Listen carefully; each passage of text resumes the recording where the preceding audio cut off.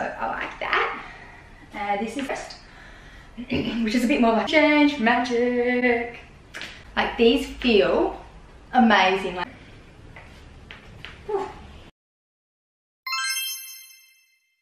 Hey guys, welcome back to my channel. So today I just thought I'd do a quick uh, swimwear haul for you, but I will be showing you a few other stars as well. But I have quite a difficult figure to dress for bikinis. I think because I am quite flat chested, like I'm like a, I'm a 10A, have no boobs, and I have like a, quite a long torso and then shorter legs.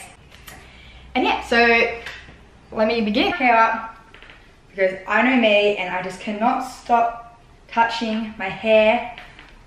And I've had comments being like, if this chick doesn't stop touching her hair, I swear to God. So, hair is up, no touching. Let the whole begin. So this is the Kenzie bikini in blush, as you can see. Now this is like a tie up front, so you can't untie it, which I won't do because I don't want to show the whole world my nips.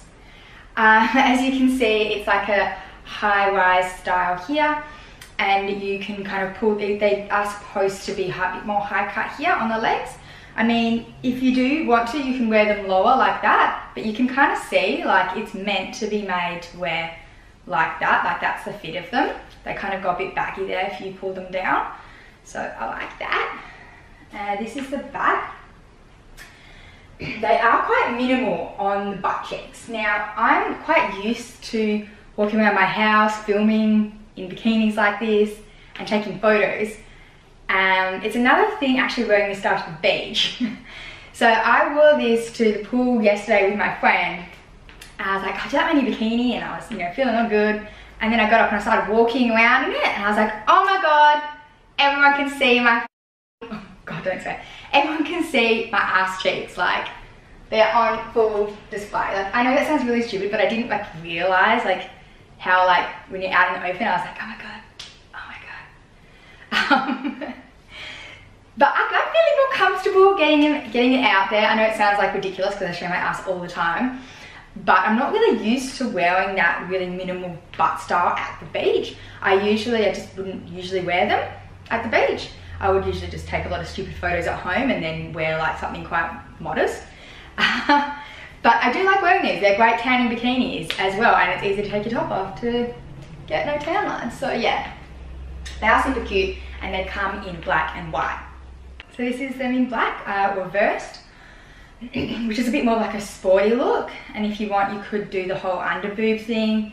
I mean, you probably can't tell I'm doing the under boob thing because I have no boob to be under. But, um, so I always am scared that that's like the postman because it's like a window there and if he pokes his head through he'll see me doing this and it'll just be really embarrassing so I'm always on edge ta-da costume change magic so you're at the beach and you're like I feel like I've been here too long and I'm wearing the same look you can spice it up and turn your bikini around everyone will be like whoa like J-Lo at the Grammys so this is the Aubrey top and the Sanders bottom and I'm a bit mad about it. Like usually when I try on like lycra tie bikinis like this, they're kind of like baggy. I don't know, I don't know how to explain it, but these are like tight. Like these feel amazing, like so good. I don't even get any money from this one. Like if you guys buy this bikini, nothing happens to me. So I'm just really excited by this. I love it. And it's got like little darts here as well. I used to study fashion design, uh, so I'm actually quite passionate about like how things are made and the reasonings behind them and quality of fabric and all of that. So I really appreciate these kind of details and this kind of care that goes into clothing because I notice it and I know why it's there. So this helps with uh, shaping the breasts and it makes it fit a lot better and tighter so there's no gaping down here which I've had with other bandeau style bikinis. So this is great. And look, you don't have to wear it like me, like a dickhead. You can wear them like a normal person like that. Or you can wear them like an Instagram girl, like this. Okay guys, this is the last one of the set. So this is the Jamie bikini.